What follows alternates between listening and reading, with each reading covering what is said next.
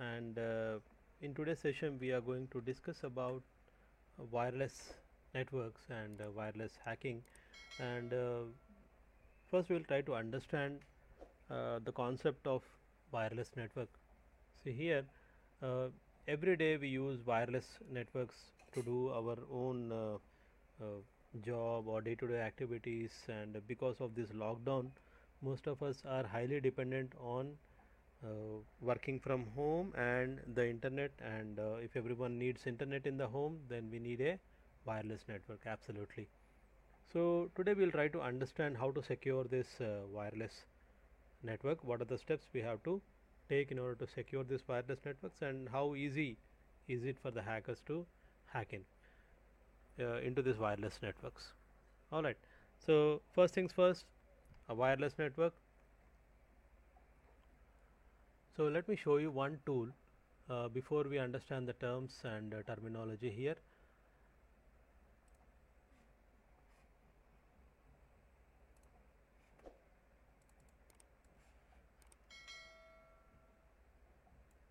All right. So I have one tool with me. This is called as wireless network analyzer which basically means uh, I have a wireless card connected to my computer and uh, this software is going to use that wireless card in order to scan the networks around it which means I will be able to see all the networks. Now this is uh, more than what you usually see in a, a, computer isn't it? You usually see a list of uh, networks when you click on the uh, wireless uh, link isn't it? You see the name of the network and that's it you just click on connect. But this tool is giving you giving me more information than that. Okay first I'll explain to you what is going on here. So let me explain these colorful bars here. All right so here wireless network is divided into multiple channels. There are 14 channels basically uh, as per the international standards and every region has their own limitation on the number of channels to use. Okay. So, that being said if you can look at this uh, the bottom line it says CH1, CH2, CH3 and so on up to CH14 which means these are the different channels on which our wireless network or various wireless networks are uh, used. So, here uh, if you look at the color bars here okay on CH5 we have one color. So, what does this color mean? If you look at the legend here on the top I hope you are able to see uh, this is SANMOU. So, this is the name of the wireless network which is running on the channel number 5 and immediately you will see there is one more wireless network which is running on the same channel. Okay. So if you can look at the name see here unknown SSID something is there. But what is the problem with this one? Well the problem is it's like imagine two FM stations. We all know every FM station is running on one channel. That is uh, radio mirchi is 98.3 megahertz. Okay?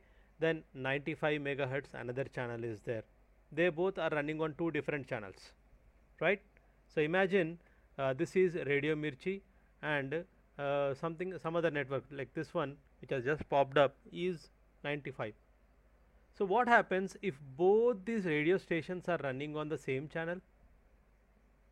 What about the performance? What about the reception? Well, it will be really bad, isn't it? Because both the stations are transmitting two different type of data.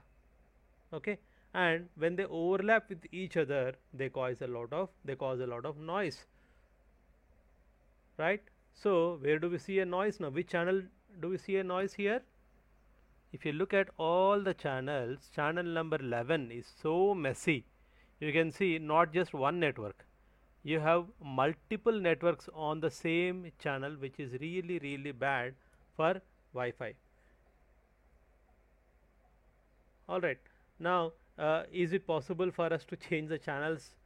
Well it depends upon the router uh, the Wi-Fi router which we are using in our home. If the Wi-Fi router allows us to change the channels absolutely.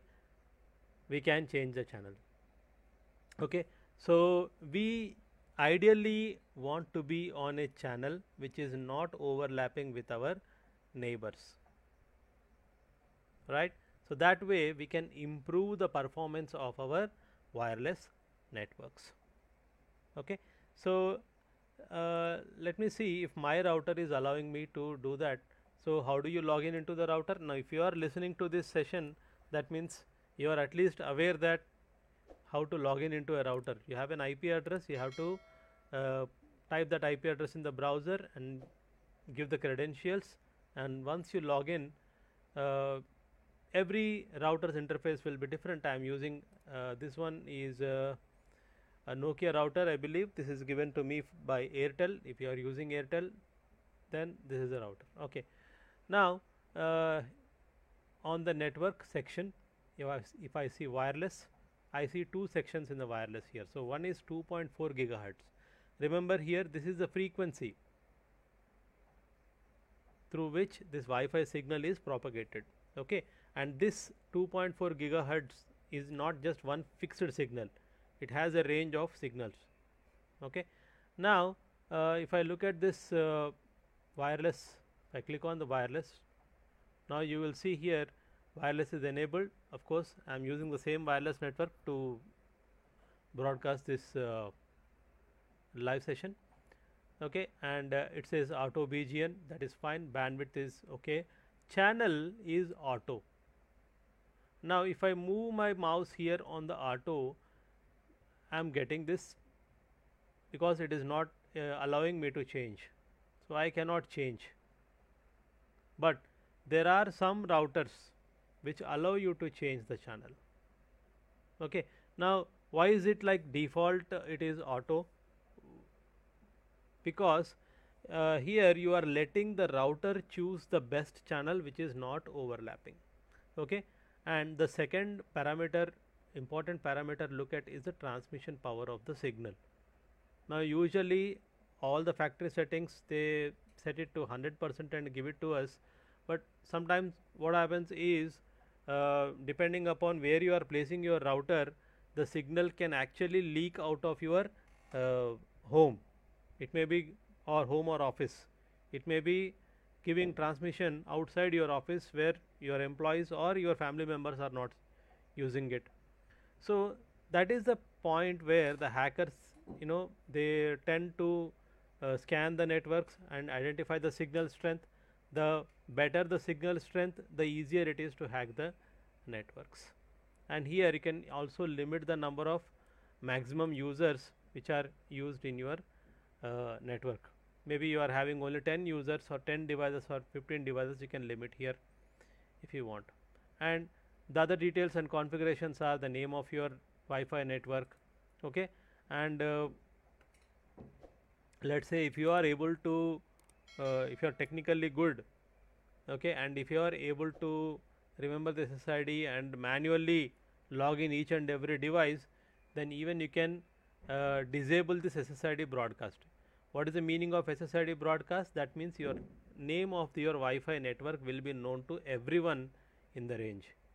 If you don't want hackers to know your name, Wi-Fi name and uh, you know just to have a constraint here you can simply uh, disable the broadcast. Okay? And the other details like the most important one is make sure that your encryption always always is at the minimum WPA2 personal if it is a home network. If it is office network uh, make sure you have a server and uh, all the authentication is done through the server with separate usernames and passwords it should not be like one password you are sharing to your all employees. Okay? So that is again a bad thing in wireless. I hope you have understood this one. And the another important part is there is something called as WPS okay?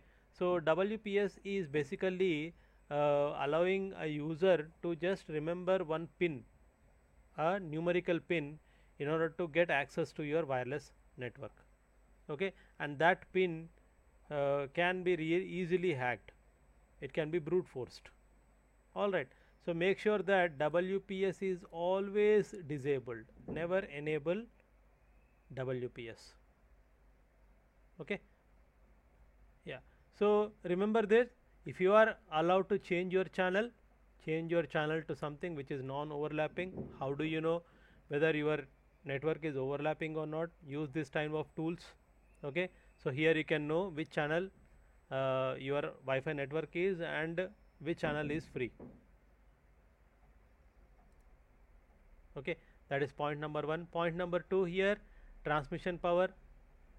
By default it will be 100 percent. Now if you are not able to place your router maybe in the middle of your home then if it is maybe in one side of your the entire home make sure that you decrease the power uh, which is transmitted out of your Wi-Fi network okay?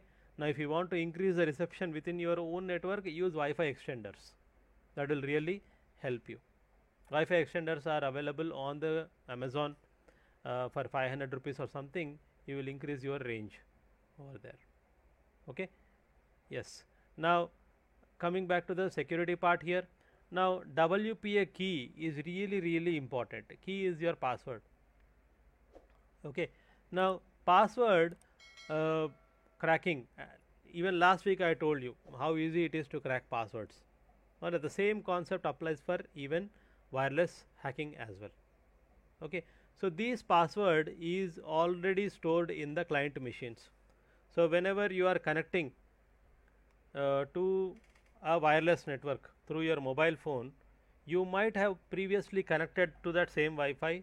So you might have given the key the Wi-Fi key. So that key is actually stored in your mobile phone. So whenever you are reconnecting to the same Wi-Fi network so those key details will be actually exchanged okay between the wireless network uh, client and the Wi-Fi router.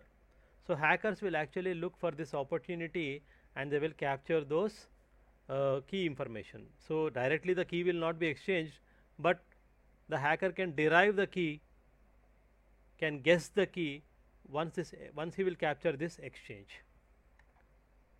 All right. So, this is one thing and uh, here how do hackers actually uh, find which network to hack? Well, basically hackers will look at the network which is uh, having more power. Okay. So, here you can see uh, there is one parameter called beacon strength or decibel per milliwatt. So, the less negative the number the more uh, near they are to the Wi-Fi network. Okay, so, minus 43 in this case says that I am really close to this Wi-Fi network. Alright minus 100, minus 79, 81 all these things are a little far away from me. These networks are far away from me and you can also have a signal quality note here. This one says excellent for minus 42 uh, good for minus 69 that is how they choose. And then uh, what are these numbers here? Well basically these numbers are called BSSID okay? Or these are also called as the uh, hardware address of your router. Hardware address of your router. So, even if you uh, you know disable the broadcast SSID broadcast only this information will be disabled, but your router will still be sending out no advertisement probes to the prospective clients using this BSSID MAC address and your hacker will still be able to hack the network. Alright and other than that you can also see here the heat map. Now what does heat map tell? Again if I am a hacker then I will see uh, whichever channel is busy more data is exchanged that will be my more interesting uh, you know Wi-Fi network to hack in. So channel number 5 and channel number 11 are really busy you can see the red signal here the more red the busier the channel is. That is how a hacker will actually choose which Wi-Fi uh, network to attack on. Okay. So, I told you the tips uh, what you have to remember uh, to protect your wireless network. Alright, do not share your password if it is an office network. Make sure that uh, your office network is having a WPSK2. Okay. So, yeah let me try to uh, give a demo if possible uh,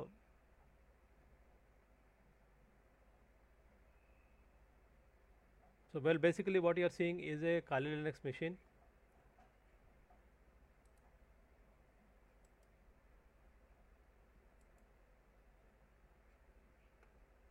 And uh, one minute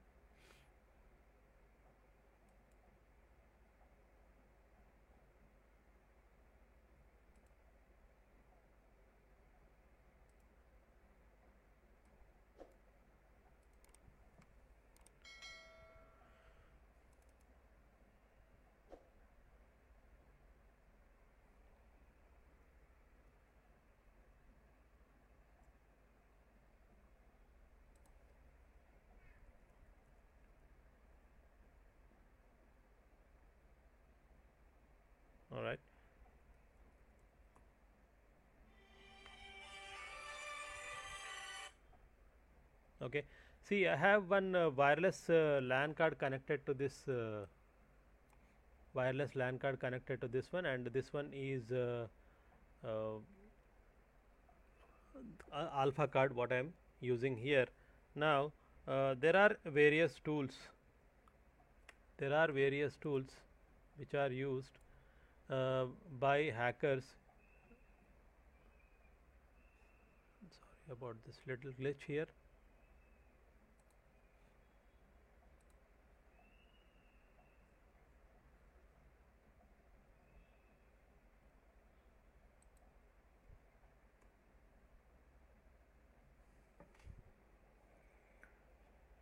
okay while this is being resolved let me explain to you uh, what I am trying to do.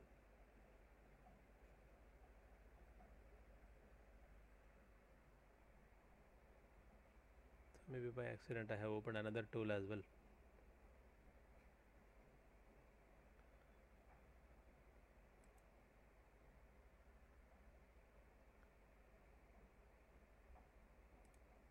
See what we are trying to do here is uh, so there is a mobile client so we have a wireless client here okay and uh, this is my Wi-Fi router now how does this hacking work? Well basically the concept is simple. Now a wireless router is pre-configured with SSID that is the name of the wireless network let us say it is ProSeek. And then this wireless router also has the Wi-Fi key which is our Wi-Fi password. Okay let us say the password is ABCD123 obviously this is not the best password. Uh, yeah. Now my client whenever he want to connect to a Wi-Fi network he will simply enable Wi-Fi card okay which is a mobile phone you just click on the Wi-Fi and then the mobile phone is going to give him a list of all the Wi-Fi networks which are near to him. Okay all the list. And then you will choose the network which you want to connect for let's say ProSeek. You will click on that network then immediately you will be prompted to enter your password. Okay now unless and until the administrator of this router shares the password the client does not have any idea about this key isn't it yeah now how does this actually negotiate let me see now imagine if I click on the ProSeek what would happen the moment I click on ProSeek, immediately there will be a request which will be going from this client machine to this router. Hey, uh, I want to connect to you. That's a request. Okay, I'm explaining to you in a, non-technical way. There is a lot of things which will go on. Uh, simple request, let's say. Now again, uh, my router will say, "Oh, you want to connect to me? That's fine." Okay, I am going to give you a challenge. Okay, what is this challenge? Well, this challenge is uh, some random number or random text let us say this is the challenge challenge okay uh, some random some random words okay let us say xyz is a random characters he is going to give. What is the purpose what is the purpose of this challenge? This router want to know if this key the client has this key or not. Okay? What will the client respond be? Well he is going to take this challenge whatever is given to him and he is going to use his key. Whatever password he has he is going to use that password and then he is going to generate a generate a cryptographic code. Okay a crypto encrypted code. And this crypto he is going to give it back to the router. This is my crypto. Okay that is this challenge. He is going to encrypt it using the key what he has and is going to generate that crypto and is going to give it to him now my router is going to take this crypto. And then he is going to use this key whatever key he has all right to reverse it. That is to decrypt it. And then the idea is he must get x y z. That is the same challenge which he has sent to the client. Okay if he is getting the same challenge exactly the one which he has sent that means the key which is configured at the router and the key used by the client are same. So authentication will be successful. Okay the client will be associated with the router. Okay so in this process in this process you will observe no way in these steps actual key is exchanged. Router is not going to share his key nor the client is going to share his key see that is a basic idea about uh, security here. You are not going to exchange any of the keys. Okay? This entire process is called as WPA handshake. Imagine if there is a there is a hacker if there is a hacker who is sitting here in and between the client and router and he was successfully able to capture all these four messages okay he has successfully captured by some means sniffing tools and uh, some monitor mode uh, Wi-Fi adapter. Now, what is the information he has? Does he have the challenge? Yes, he has the challenge. Does he have the crypto? Yes, he has the crypto. What he does not have is the key. Okay. So, what is he going to do? He will have a list of keys which is called as a dictionary or a word list or a hash table whatever you will say. Okay.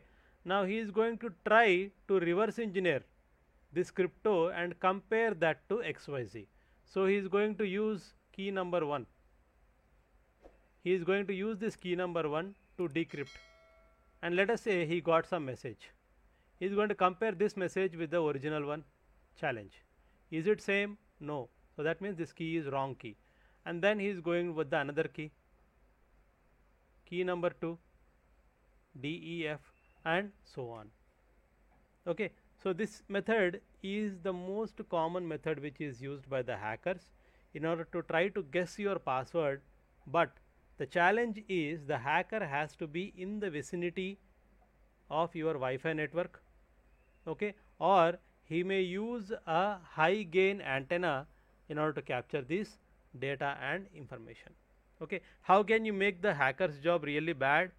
Well, basically this key whatever you are configuring on the router if it is longer and complex then the time taken by the hacker in order to decrypt it will be longer and he may even lose interest in your uh, Wi-Fi.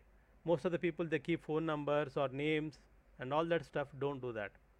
Okay, it is so easy to actually uh, capture the handshake and crack the password. And the tools which are used to crack this are the famous one is aircrack aircrack ng tool is used for hacking the uh, cracking the keys. And to capture this data to capture this data airmon ng is used airmon ng is used. Okay? I hope you have understood this concept about how actually wi-fi networks are hacked. So the practical part uh, all those things we share this in the uh, course itself because this is a public media. So we cannot directly share you all the tools and everything uh, because we do not know uh, how people actually use them. Right? They may even misuse us. So this is a disclaimer so i'm just explaining you the concept i told you the tools all right if you are interested to learn more about these things how to use this and there are menu driven tools also which are available to hack wireless networks. So, cyber security is really really important these days absolutely important. Okay. Without wireless networks you cannot do anything and if you want to be successful in cyber security then you have to understand basic concepts advanced concept okay how to use this tool and have a lot of patience and the rewards will be really good believe me. So, at ProSeek we are uh, conducting various cyber security courses and uh, wireless hacking is taught in that course and not only wireless hacking we also teach OWASP top 10 bug bounty hunting system hacking mobile hacking and uh, what is exactly ethical hacking and also we will tell you uh, what exactly is a SOC center, what is SOC analyst, what does cyber security analyst do, how do they monitor the networks to capture any security events, all those things will is taught in the training. So, please call us on the uh, FB page, uh, you can message us directly, we will contact you. Okay. And uh, that is all for this uh, today's session. Uh, we just wanted to make sure that it is sh short and informative as much as possible. See you next week with our next session, interesting one. Thank you very much.